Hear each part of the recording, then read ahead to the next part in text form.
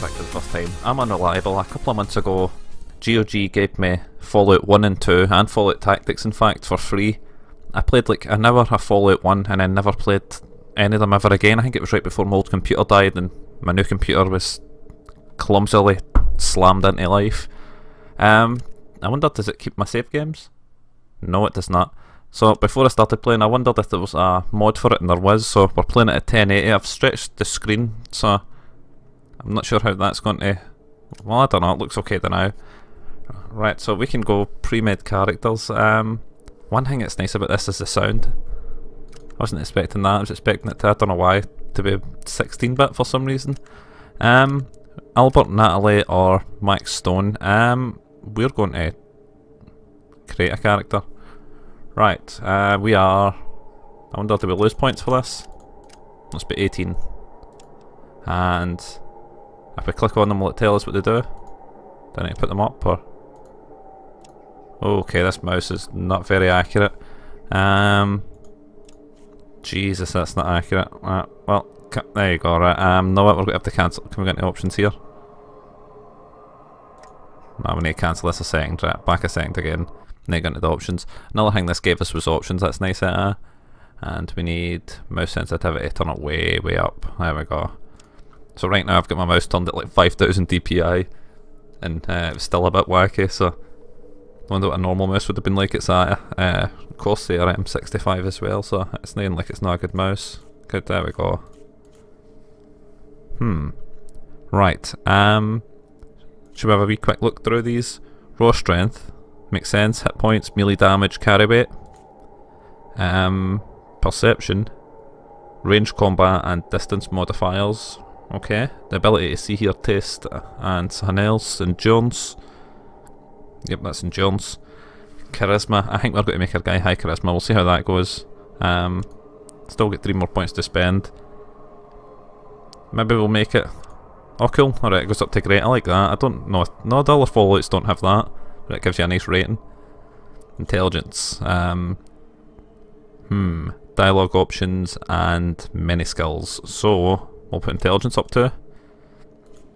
Agility, armor class sequence, and many skills. Hmm. And luck. Or unlucky your character is. Hmm. We don't want to be unlucky, but we don't have any points. So I guess that seems like a rational place. Um, if we take these, what happens? Your metabolism rate is twice as normal. This means you are uh, much less resistant to radiation and poison, but your body heals faster. Ah, they all have good and negatives built in. It's weird that in modern games you have ones that have goods and then another ones that have negatives and you're expected to balance them. This is just now you get both. Should we try gifted? Ah. Okay. Alright, no, good and negatives again. For some reason I was expecting it just to be good and I was looking for this to go to minus one or something. Can you hear this music and as not music, can this hell in the background? Right, should we see what this does? Um, plus one to all stats, but you have 10% on all your skills at start and receive 5 less skill points per level. Whoa. I think we'll drop gifted. Urgh. Maybe we'll knock one off intelligence, put one on to charisma, then take gifted. Never heroic? Holy crap. I kinda want to see what's after heroic, is that not? Okay, we'll see what's after heroic, god damn it. Oh, there isn't anything, 10's the highest. Good, probably that's a good thing. So we'll start off with the highest charisma, very good intelligence. Our guy isn't much of a fighter. He's got 33 health, I suppose. Right, let's check out skilled. Um, since you spent more time improving your skills than a normal person, you start with twice as many skill levels. The trade-off is that you do not gain as many extra abilities You'll gain a perk every four levels. Hmm. What can I, what does that do? Oh, that puts that back up. So that negate that, but we're trading it off for a skill, uh, a perk every four levels. No, what, we'll just ignore that. Night person. Um, during the day you're dull. Chemical resistance. Only affect you half as much. But you, a chance you crave them. It's also 50% as normal. Wait, what? Chems only affect you half as much as normal, but the chance you crave them is also only 50% of normal. So is there a good chance I'm going to get addicted to just all sorts of things? Um, you crave chemicals more easily. Um, your chance of craving chems is twice as normal, but you recover twice as fast from their ill effects. Hmm. Good natured. You studied less. Combative skills. Oh, you studied less combative skills as you were growing up. Your combat skills at the start are lower, but your speech. Oh, let's turn that up. I think we're already capped for that bit, so.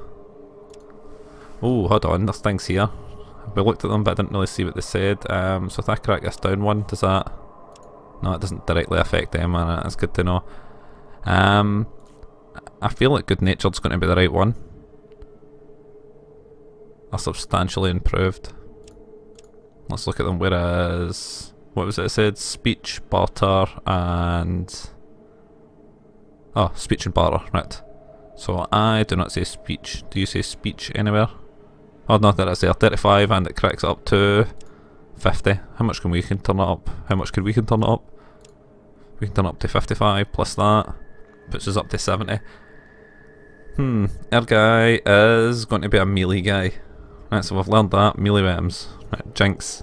Um, good things happen to everyone. More critical failures. More critical bad failures as well. Um, bloody mess. By some strange twist of fate, people around you violently die.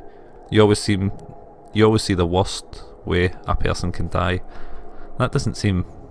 I'll take that. Ah. Hmm. Should we drop good natured? It will give me an extra 10% to combat, so and just give me options with other things. I think we'll take Bloody Mess. Um, there's a bunch of other abilities we just can't even take. Right, well, let's keep clicking on things. Um, do we take speech? Right, so we've got speech.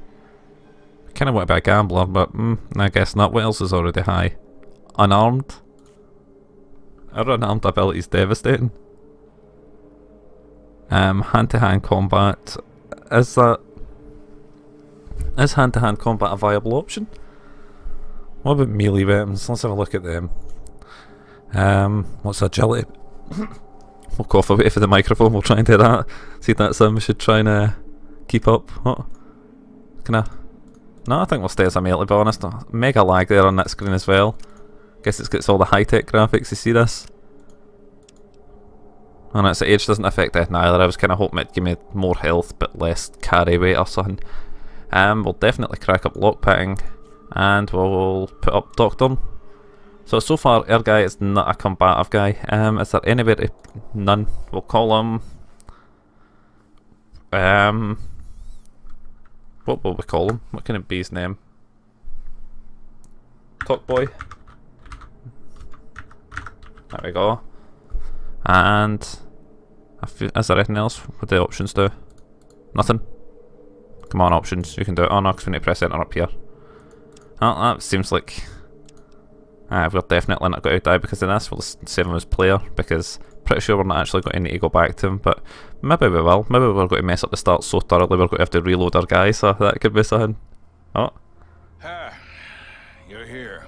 Good. Uh, We've got a problem. A big one. The controller chip for our water purification system has given up the ghost. Can't make another one, and the process is too complicated for a workaround system. Simply put, we're running out of drinking water.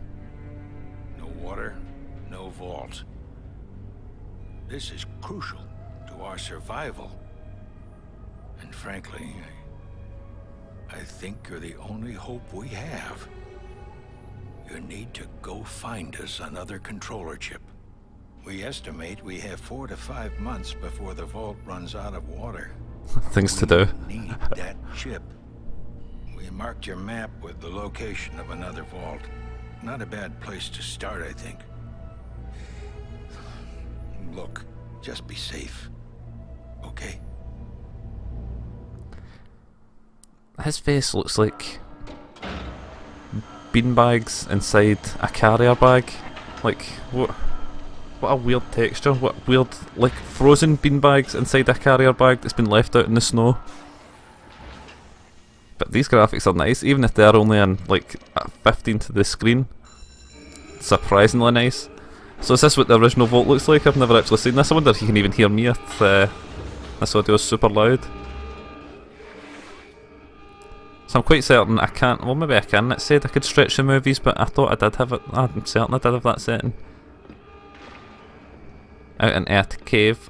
So for last time I remember, um, if you'd seen it, that wee start video there, it said uh, we're on Vault 13, it wants us to go to Vault 15 and hopefully fix the water thing, something to that effect. Oh. Everyone's went blank for me. You see anything? And the game has stopped working. God damn it. Well, at least we saved our wee guy so we don't have to make him again. Right, well, if that isn't a good place to end it, then anywhere else would have been. If you want to see more like this and hopefully some gameplay, like, comment, favourite, subscribe. Join us again for the next time.